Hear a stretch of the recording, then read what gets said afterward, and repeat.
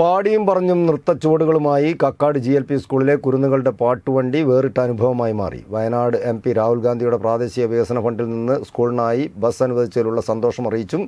സ്കൂളിൻ്റെ സ്വപ്ന പദ്ധതികൾ വിശദീകരിച്ചുമായിരുന്നു യാത്ര പുതിയ അക്ഷരമുറ്റത്തേക്ക് നവാഗതരെ സ്വാഗതം ചെയ്തുള്ള യാത്രയ്ക്ക് വിവിധ കേന്ദ്രങ്ങളിൽ സ്വീകരണം നൽകി